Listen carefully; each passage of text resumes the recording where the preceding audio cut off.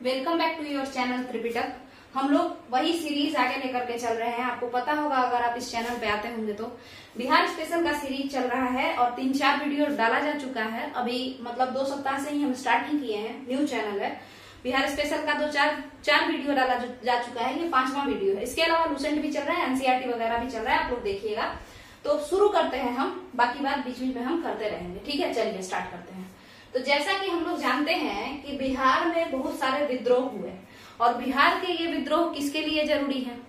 BPSC के लिए और बिहार दरोगा के लिए बीएसएससी के लिए। यानी बिहार से रिलेटेड जो एग्ज़ाम्स हैं, उन सभी चीज़ों के लिए। जैसे बिहार का सिविल कोर्ट हाई कोर्ट सब जो भी हो, पूछता होगा उसमें। तो देखिएगा रिवॉल्ट इन बिहार कई सारे हुए हैं, जिसमें से कि हम लोग कल पढ़ चुके थे नोनिया विद्रोह और हम याद करने का तरीका भी बताए थे कि किस तरीके से नोनिया को हम लोग कनेक्ट कर देंगे, किससे कनेक्ट कर देंगे तो सफाहोड़ वाले से कनेक्ट करेंगे सौ साल बाद।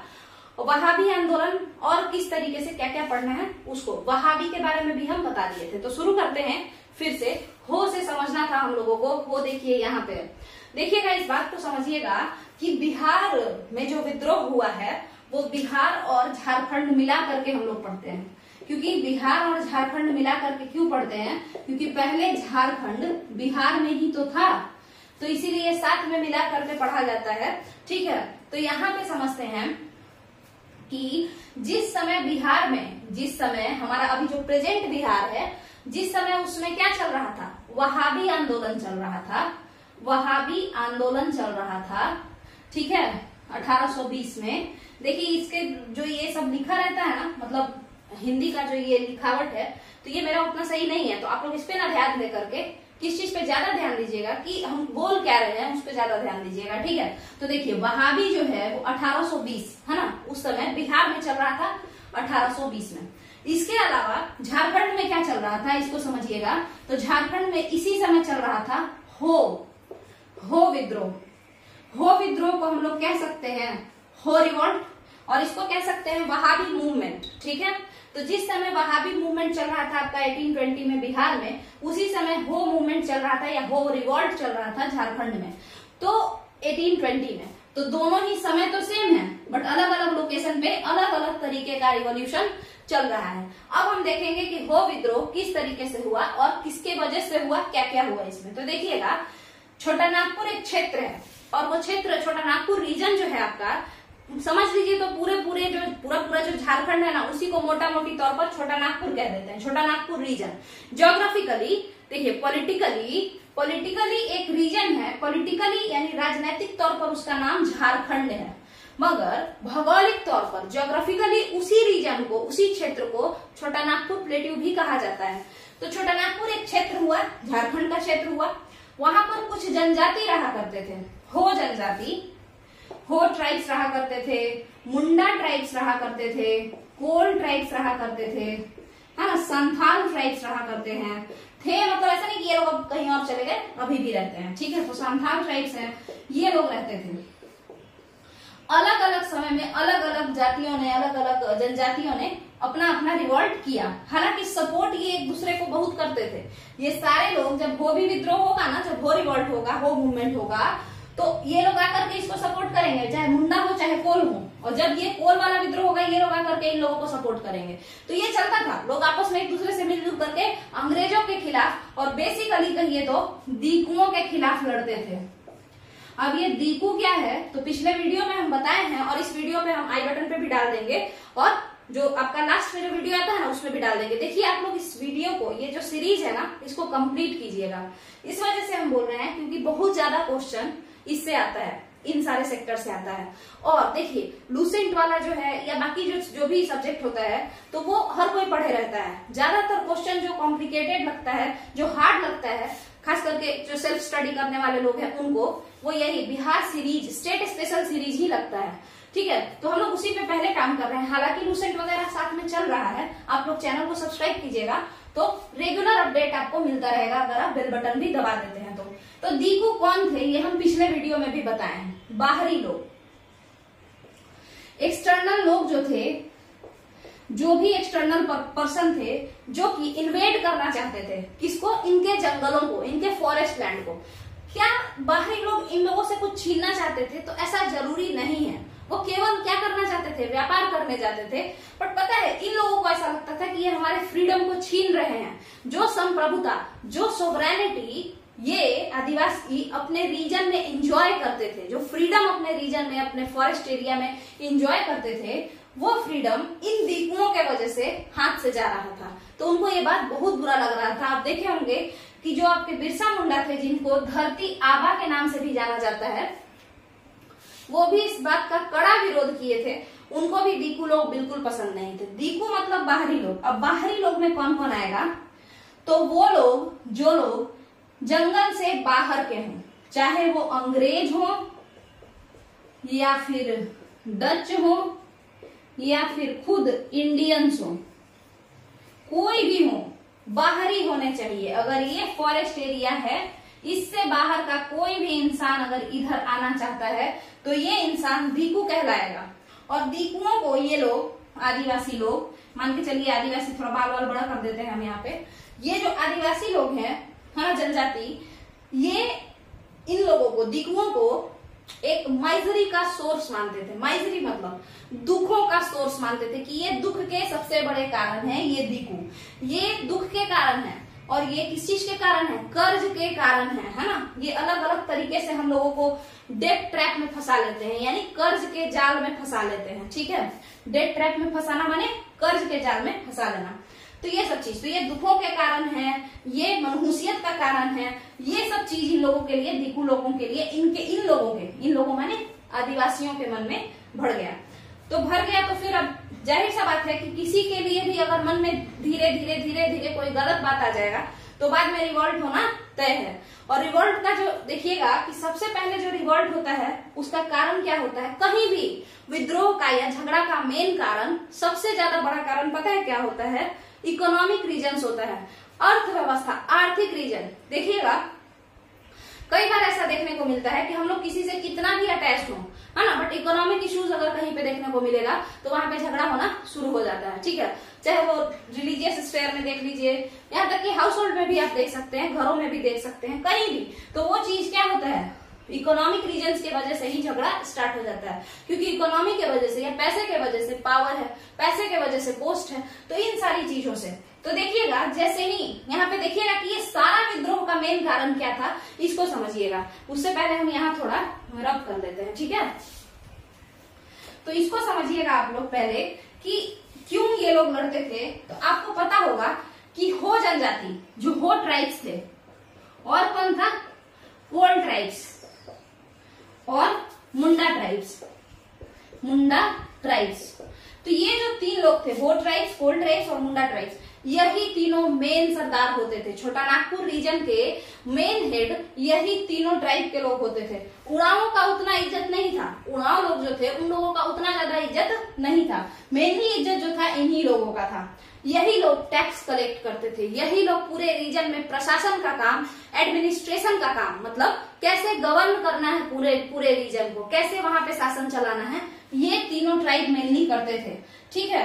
अब समझिएगा, ये लोग नेता हैं, एक तरीके से समझिए तो। अब इसके जगह पे कोई और बाहरी व्यक्ति नेता बन के आ रहा है, ब्रिटिशर्स अलग अलग ऑफिसर्स को भेज रहे हैं तो सबसे ज़्यादा किसको दुख होगा? सबसे ज़्यादा परेशान, सबसे ज़्यादा इरिटेट कौन हो जाएगा? हो ट्राइब्स हो जाएँगे कोल ट्राइब्स हो जाएँगे और मुंडा ट्राइब्स हो जाएँगे। अब ये लोग बेचारे दुखी मतलब बहुत ज़्यादा दुखी हो गए और दुख जो है इतना हद तक गया कि रिवॉल्ट कर दिए ये लोग। ठीक है? तो आगे समझते हैं कि यहाँ पे क्या क्या अब इसका पहला रिवॉल्ट आप लोग देखेंगे कि जब 1793 में परमानेंट सेटलमेंट आता है ना परमानेंट सेटलमेंट दमामी बंदोबस्त, है ना तो दमामी बंदोबस्त या परमानेंट सेटलमेंट जब आता है 1793 में, बताइएगा कि कौन से गवर्नर जनरल ने ये परमानेंट सेटलमेंट को लाया? आप नीचे कमेंट में बताइएगा। और कम्युनिटी पे भी हम कुछ कुछ क्वेश्चन डालते रहते हैं। आप लोग जाकर के उसका आंसर दीजिएगा। वो पीवाई सीरीज़ का ही क्वेश्चन रहता है। तो समझते हैं इसको कि 1793 में आता है परमानेंट सेटलमेंट उसके बाद ये लोग ये जनजाति लोग खास करके लीडर जनजाति, ये लोग इतना गुस्सा हो जाता है कि धनुष बाण लेकर के धनुष बाण, वो जो एरो ये सब होता है ना हाँ तो वो लेकर के और मारने के लिए चला जाता है। ठीक है? मतलब धनुष बाण लेकर के अंग्रेज़ों से झगड़ा करने छुप छुप के मारा मारी करने चल जाते हैं लोग। ठीक है? ये 1793 में ही। उसके बाद तो बाकी चीज़ आप लोग देख ही रहे हैं कि कैसे हो विद्रोह शुरू होगा। बाकी अब हम लोग समझते हैं। देखिएगा,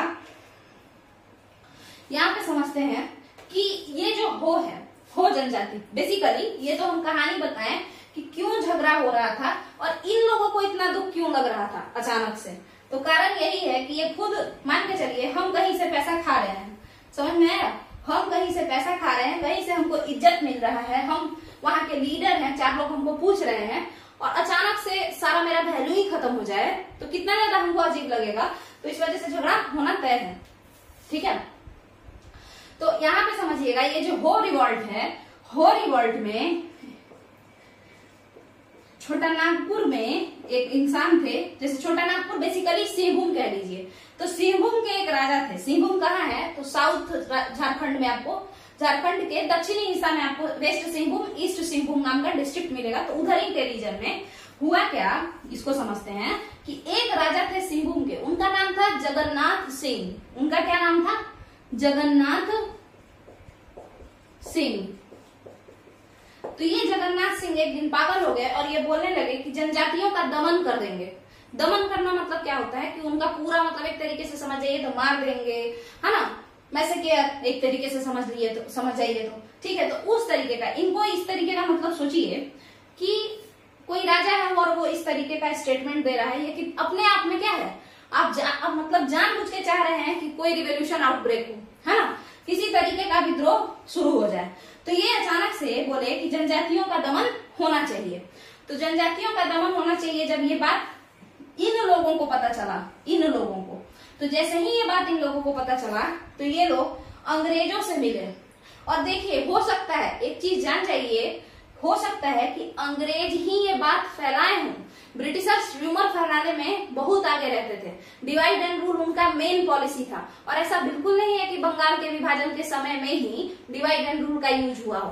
कई बार यूज़ हुआ है। वहाँ भी मूवमेंट को भी दमन के लिए, वहाँ भी मूवमेंट को सप्रेस करने के लिए आप लोग देखे होंगे कि 1865 में पटना को दो टुकड़ों में तोड़ दिया गया। क्यों तोड़ा गया? क्योंकि पटना उस समय रिवोल्यूशन का सेंटर बन गया था, केंद्र बन गया था, ठीक है?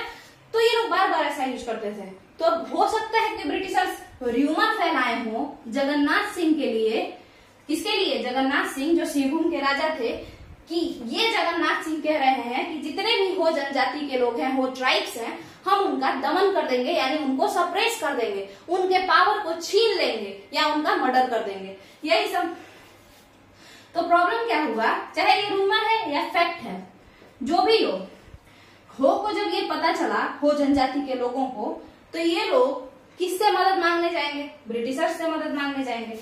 तो ब्रिटिशर्स ने कहा, अंग्रेज़ों ने कहा कि हम लोग आपकी मदद करेंगे। समझ में आया होगा आपको? ब्रिटिशर्स ने कहा कि हम लोग आपकी मदद करेंगे। और लास्ट टाइम पे धोखा दे दिए ये लोग। और ब्रिटिशर्स जो थे, वो बेपेंदी के लोटा टाइप के इंसान थे। बार बार वो लोग धोखा दे देते थे। जो भी इन लोगों पे भरोसा करता था। आप देखेंगे जब आपको हम मतलब हम लोग जब मॉडर्न इंडिया रिवाइज करेंगे ना, या जब पढ़ेंगे तो उस समय आप लोग देखिएगा कि किस तरीके से हैदर अली को, पहले ये ब्रिटिशर्स बोलते हैं हैदर अली को, मैसूर वॉर में। मैसूर वॉर में हार जाते हैं ब्रिटिशर्स तो हैदर अली से प्रॉमिस करते हैं कि अगली बार अगर आप पे कोई अटैक होगा ना तो ट्रिटी ऑफ़ परपेचुअल फ्रेंडशिप के तहत मतलब दोस्ती का एक संधि करते हैं ये लोग। तो उस संधि के तहत हम मतलब आपका दुश्मन मेरा दुश्मन होगा, और हम आपका आकर के मदद करेंगे, अगर कोई और आप पे अटैक करता है तो। बट उसके बाद उल्टा करते हैं ये लोग। हैदर अली पे तो ये मिल करके, मराठों से, यानी हैदर अली के दुश्मन से मिल करके ये लोग खुद ही अटैक कर देते हैं, माहे पे, जो कि हैदर अली का रीजन रहता है। तो आपको पता होना चाहिए कि ब्रिटिशर्स कैसे थे? ये लोग मतलब दल बदलू टाइप के लोग थे, ठीक है? बिहारी भाषा में कहिए तो बेपेली का लोटा थे ये लोग, ठीक है? तो ये लोग पहले तो बोले कि हम आपका मदद करेंगे बट ये किसका मदद कर रहे थे? इनका, जगन्नाथ सिंह का मदद कर रहे थे। या फिर इनका भी नाम बदनाम करके, इनका भी मतलब इनका भी डुबा ही रहे थे नाम। ठीक है? तो जो भी हो बट ब्रिटिशर्स धोखा दे रहे थे और वो लोग को लग रहा था कि जगन्नाथ सिंह ही मेन मिले हैं। तो ये लोग आपस में रिवॉल्ट कर लिए। किस कौन पिटाया होगा? ये जगन्नाथ सिंह पिटाए होंगे। है ना? मतलब उनके लोग उनके लोग पिटाए होंगे इधर उधर से जो भी हो। तो उसके बाद क्या देखने को मिलता है कि ये जो है, उसके बाद हो जनजाति 1820 में ये झगड़ा स्टार्ट होता है। इसका कोई लीडर ऐसा कोई खास लीडर नहीं रहता है। ऐसे ही सब लोग लड़ रहे होते हैं एक मिलिशिया के फॉर्म में। मिलिशिया क्या होता है? देखिए, अगर कोई आर्मी ट्रेंड हो मतलब उसको सब चीज़ आता हो, बंदूक चलाना, तोप चलाना, दुनिया जहाँ सब चीज़ आता हो तो वो मिलिट्री कहलाता है। बट बस भीड़ है। हाथ में कलछुल, बेलना, जो भी लिया मिल गया, दौड़ गए पीछे पीछे किसी को मारने के लिए, ये मिलिशिया है। तो हो जो थे हो जनजाति के लोग, ये लोग मिलिट्री एक्टिविटी या मिलिट्री ट्रेनिंग तो लिए नहीं थे। तो ये बस भीड़ थे। ये ऐसे ही अपना हल्ला गुदार मचाते हुए दौड़ रहे थे। ठीक है? तो उसके बाद ये शांत पर गए। बस एक ही साल में ये लोग शांत पर गए, हो जनजाति के लोग। और उसके बाद क्या हुआ? इन लोगों का ये रिवॉल्ट यहीं पे खत्म हो गया। तो रिवॉल्ट खत्म हो गया ब्रिटिशर्स क्या कर लिए? जो फॉरेस्टेड एरिया था, उसको कैप्चर कर लिए। कहानी यहीं पे खत्म हो गया हो रिवॉल्ट का। तो हो रिवॉल्ट में एक रूलर थे, जगन्नाथ सिंह। और हो रिवॉल्ट का जो सबसे इम्पोर्टेंट क्वेश्चन आता है, हो रिवॉल्ट कहाँ का था? किस क्षेत्र में हुआ था? तो छोटा नागपुर रीजन और मेनली कहिए तो सिंहभूम रीजन हो जनजाति के लोग थे, हालाँकि सपोर्ट कई जनजातियों ने किया था, कई ट्राइब्स ने किया था। और उसके अलावा अगर हम आपसे बात करें तो हो रिवॉल्ट हुआ कब था? तो 1820 में हुआ था। जब जब आपके पटना में वहाबी आंदोलन चल रहा था 1820 में, या आपके बिहार में जब वहाबी आंदोलन चल रहा था, उसी समय आपके झारखंड में क्या चल रहा था? हो विद्रोह चल रहा था या हो रिवॉल्ट चल रहा था। ऐसे आप याद कर सकते हैं 1820 हो रिवॉल्ट अब बात करेंगे हम लोग अगला विद्रोह। तो देखिए वहावियों से रिलेटेड है ये विद्रोह भी। वहावियों से हम लोग कोरिलेट करेंगे और तब इसको पढ़ने का कोशिश करेंगे, याद करने का कोशिश करेंगे, ठीक है? देखिएगा। अगर हम बात करें वहावियों की तो आपको पता होगा कि 1821 में सैयद अहमद बरेलवी आते हैं यहाँ पे। अब ये सैयद अहमद बरेलवी कौन इंसान का नाम है? तो इसके लिए आपको पिछला वीडियो देखना पड़ेगा। हालाँकि जो वहाबी मूवमेंट है ना हाँ तो उसके जो प्रवर्तक हैं या उसके जो फाउंडर हैं, उन्हीं का नाम है सैयद अहमद बरेली ये राय बरेली के रहने वाले हैं। कहा के? बरेली के नहीं है, राय बरेली के हैं। दोनों यूपी में ही है, ठीक है? सुनिएगा ध्यान से। तो हम कह रहे हैं कि सैयद अहमद बरेलवी बिहार में थे कहाँ के ये? यूपी के थे। बट आए कहाँ थे? बिहार आए थे। ठीक है? तो बिहार में आकर के और एक मौलवी परिवार से मिलते हैं और वो मौलवी परिवार किसका रहता है? तो फरहत अली, इनायत अली, विलायत अली, ये सब नाम रहता है, ठीक है? वो कब आते हैं? 1821 में। और इसी क्रम में वो हर जगह घूम घूम करके वहाबिज्म को फैलाते रहते हैं। तभी उनका उनका झगड़ा क्या होता है? किससे होता है? वो देखिएगा। एक जाट से उनका झगड़ा हो जाता है। वो जाट लीडर का नाम क्या रहता है? शेर सिंह, ठीक है? तो ये जो शेर सिंह रहते हैं, इनसे सैयद अहमद बरेलवी एक बार मिलते हैं। और वो समय कौन सा रहता है? तो समय रहता है 1831 का। और यहीं पे ये शेर सिंह इनको मतलब बालाकोट में, एक बालाकोट एक जगह है। बार बार यहाँ पे एक बार अटैक भी शायद हुआ है। मतलब आप समझ जाइए तो पंजाब, पाकिस्तान और इंडिया, पाकिस्तान सॉरी पंजाब वाला रीजन पंजाब वाला रीजन पाकिस्तान और इंडिया। तो उधर ही साइड में होगा, यानी नॉर्दर्न एरिया में होगा, ठीक है? चलिए देखते हैं। तो बालाकोट एक रीजन है। यहीं पे ये लोग मिलते हैं। कौन? ये जाट लीडर शेर सिंह और बरेलवी साहब। दोनों लोग मिलकर के झगड़ा शुरू करते हैं और झगड़ा में कमज़ोर पड़ जाते हैं बरेलवी और इनको मार देता है कौन? शेर सिंह। इनका नाम ही शेर रहता है तो ये इनको मार देते हैं। याद रखने के लिए बस हमेशा बोल रहे हैं तो ये मार देते हैं। तो 1831 में सैयद अहमद बरेलवी जब मारे जाते हैं तो वहाबी आंदोलन तो थोड़ा शिथिल पड़ेगा ना, क्योंकि लीडर चले गए। ठीक है? तो लीडर चले गए। और लीडर के जाने के बाद जो लीडरशिप का जो बागडोर मिलता है, वो पटना के जो मौलवी लोग थे, उन लोगों को नहीं मिलता है। बल्कि एक इंसान थे। एक दिल्ली के इंसान थे। उनका नाम था नशीरुद्दीन क्या नाम था उनका? नसीरुद्दीन महमूद। उन्हीं को मिलता है। ठीक है? तो देखिएगा कि पावर किसके तरफ़ शिफ्ट हो रहा है? दिल्ली भाग रहा है। तो पटना से पावर दिल्ली शिफ्ट हो रहा है। हालाँकि ये बस ऐसा कुछ था नहीं, पटना में जो विलायत अली थे, उन्हीं के पास पावर रहता है। आप लोग पिछला वीडियो जब देखेंगे ना तो आप वहाँ भी आंदोलन को और अच्छे से समझ पाएँगे। तो मेनली यहाँ से देखिए, जब बरेलवी मरे, कब मरे? 1831 में। तो बिहार में क्या चल रहा होगा? बरेलवी मर गए हैं। पॉलिटिकल डिलेमा चल रहा होगा कि अब कौन रूलर बनेगा? लीडर कौन होगा? क्या विलायत अली बनेंगे या नसीरुद्दीन महमूद बनेंगे? जो भी है, ठीक है? और यहाँ पे भी एक विद्रोह चल रहा है। 1831 में क्या चल रहा है? तो बिहार में चल रहा है बरेलवी के जाने से एक अंदर अंदर रिवॉल्ट चल रहा है। अंदर अंदर मतलब पार्टी के अंदर अंदर समझ लीजिए तो। है ना? तो वो ग्रुप जो है, वहाबी ग्रुप उसके अंदर अंदर और यहाँ आइएगा। झारखंड में क्या चल रहा है? तो झारखंड में एक और विद्रोह अपना पैर जमा रहा है। और उस विद्रोह का नाम है कोल रिवॉल्ट या कोल मूवमेंट, जो भी कह लीजिए, कोल विद्रोह, ठीक है? तो ये जो है, कोल विद्रोह, ये कब हुआ? 1831 में हुआ। जिस साल सैयद अहमद बरेलवी मरे हैं, उसी साल कोल विद्रोह झारखंड में हुआ है। कोल विद्रोह के बारे में समझिए, एक इंसान थे। कोल विद्रोह के बारे में समझिए, काफ़ी क्वेश्चन आता है इससे, आप लोग ये पूरा वीडियो कंप्लीट कीजिएगा। अगर आप बीच में छोड़ते हैं, या तो आप खुद से पढ़ लीजिएगा और नहीं पढ़ते हैं और बीच में छोड़ देते हैं तो इससे आपका क्या होगा दिक्कत? कि मतलब मार्क्स जाने का डर रहेगा। ठीक है? तो आगे समझते हैं। कोल विद्रोह क्या है? कोल विद्रोह 1831 में हुआ है। ठीक है? ये तो बात तय हो गया, क्योंकि बरेलवी 1831 में मरे थे। ये कनेक्ट करके हम जान बुझ कैसे हम खुद पढ़ते हैं, ताकि हमको ज़्यादा दिन तक याद रहे। तो समझिएगा इस बात को। इसमें हुआ क्या कि एक इंसान थे, हरनाथ शाही उनका नाम था। ये राजा थे। ठीक है, ये भी राजा थे। राजा बेसिकली वो होता है जमींदार लोग। अंग्रेज़ों के जमाने में जितने भी राजा थे, उनको अंग्रेज़ अपने अंडर जमींदारी का काम दे दिए थे। कि ठीक है परमानेंट सेटलमेंट जो हुआ है या दमामी बंदोबस्त, उसके उसके तहत तुम क्या करना सबसे टैक्स कलेक्ट करना और टैक्स का पैसा हमको भेजना और बदले में हम, तुम अपना एंजॉय करना जो पावर है वो सब। तो जो भी हो तो एक इंसान थे जिनका नाम था राजा हरनाथ शाही। छोटा नागपुर रीजन के ये राजा थे। और ये इनका क्या मतलब इनके अंदर ना नेपोटिज्म नेपोटिज्म का भावना बहुत ज़्यादा था। नेपोटिज्म क्या होता है? भाई भतीजावाद। अभी बॉलीवुड में जैसे चल रहा है, भाई भतीजावाद नेपोटिज्म नेपोटिज्म जो भी। तो ये भाई भतीजावाद ये राजा थे कोल्स का, या किसी भी गरीब का, ये क्या करते थे? ज़मीन हथिया करके अपने भाई बहनों में बांट देते थे। ठीक है? तो ये बड़ा ही घटिया हरकत हुआ इनके तरफ़ से। ठीक है? तो यही सब और भी कई कारण दीपुओं का आना, इनका इस तरीके का मतलब जनता से को छोड़ करके सिर्फ़ फैमिली ओरिएंटेड हो जाना। तो ये सब कारणों से हाँ और मेनली मेन कारण यही मेन इकोनॉमिक प्रॉब्लम ही था कि जो पावर मेरे हाथ में था, कि हम लोग खुद टैक्स कलेक्ट करते थे, खुद कंट्रोल करते थे अपने प्रशासन को, आज वो पावर हमारे हाथ से लेकर के किसी और को दिया जा रहा है।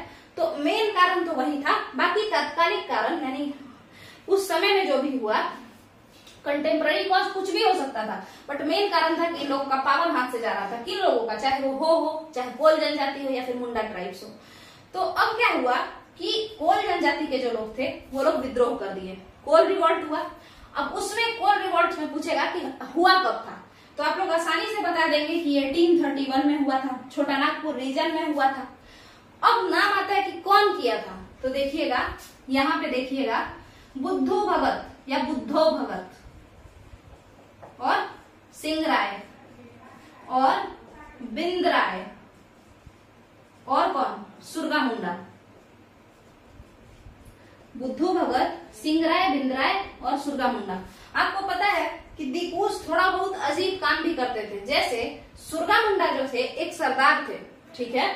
सुरगा मुंडा एक सरदार थे और इनके घर में घुस करके इनके मतलब जो, इनके फैमिली मेंबर में जो गर्ल लोग होती हैं, लड़कियों को वाइफ हो, बेटी हो, है ना? तो उन लोगों को ये लोग टॉर्चर किए थे दिकूज ठीक है? वो आप लोग देखिएगा। तो आगे समझते हैं। तो ये जो मेन चार नाम है, बुद्धो भगत, सिंगराय बिंद्राय सुरगा मुंडा। ये जो चार लोग हैं, ये लोग ही कोल विद्रोह के नेता माने जाते हैं। बट सबसे ज़्यादा जो फ़ेमस हुए, वो कौन थे? बुद्धो भगत। बुद्धो भगत फ़ेमस क्यों हुए? देखिए, कोई भी जो शहीद हो जाता है ना तो उसको लोग जानबूझ के थोड़ा ज़्यादा इज़्ज़त दे देता है। ठीक है? तो यहाँ पे बुद्धो भगत क्या किए थे कि अंग्रेज़ों का मतलब मर्डर किए। पहले बुद्धो भगत ने गुस्सा हुआ है।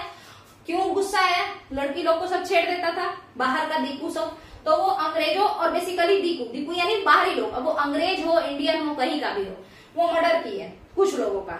तो अब इस बात पे जब अंग्रेज़ों को पता चला तो जो भी दीकू थे वो तो अंग्रेज़ के परमिशन से ही आते थे।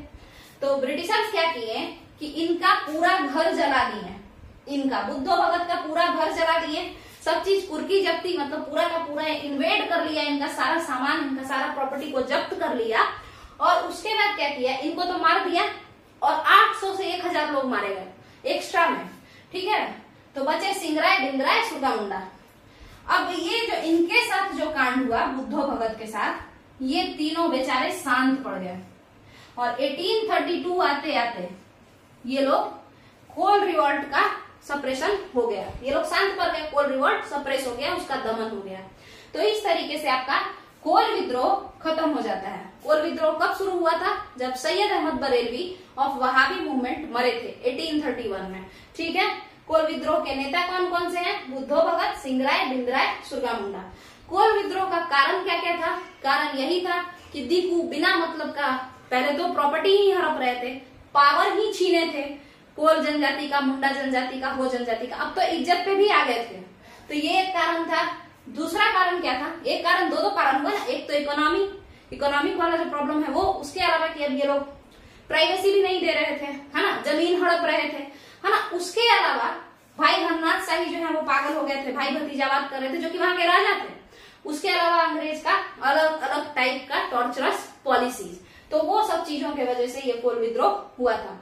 इसके अलावा अब हम लोग अगर बात करते हैं तो अब एक विद्रोह, यानी एक रिवॉल्ट और देखेंगे। उसके बाद हम लोग आगे अगले वीडियो में देखेंगे। तो देखते हैं भूमिज विद्रोह के बारे में। देखिएगा।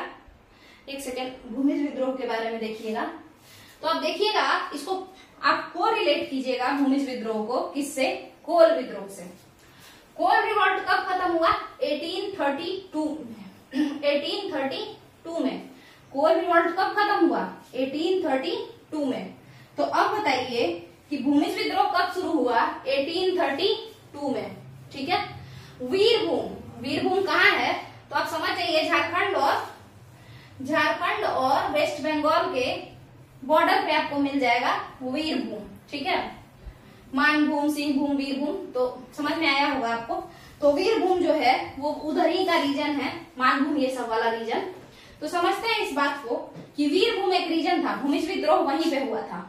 वीरभूम एक रीजन था, भूमिज विद्रोह वहीं पे हुआ था, भूमिज रिवॉल्ट कारण क्या था? वही भूमि का इशू बिना मतलब का पैसा ज़्यादा लिया जा रहा है टैक्स ज़्यादा लिया जा रहा है है ना? जो आपका क्या था?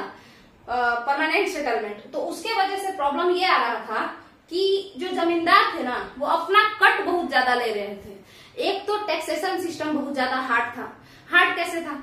कि मतलब कितना मतलब ग्यारह, दस बटा ग्यारह दे दो, है ना? अगर ग्यारह रुपया कमा रहे, दस दे दो तो बहुत ही ज़्यादा था। बहुत एक्सट्रीम था टैक्सेशन सिस्टम बट उससे ज़्यादा हार्ड मतलब उसके अलावा और क्या प्रॉब्लम था कि जमींदार जो बिचवान थे परमानेंट सेटलमेंट वाले लोग, वो लोग क्या करते थे कि वो लोग पैसा, ये जमींदार लोग, कट अपना रख लेते थे। मतलब अगर कोई कहता है कि ग्यारह रुपया देना तो वो जा करके किसानों से पंद्रह लेते थे। हो सके सत्रह भी ले लें। है ना, छह रुपया अपने पास रखनी है ग्यारह रुपया अंग्रेज़ों को दे दिए। ऐसा ऐसा हरकत करते थे ये लोग। कट के वजह से ऊपर से टैक्सेशन सिस्टम बहुत हार्ड था।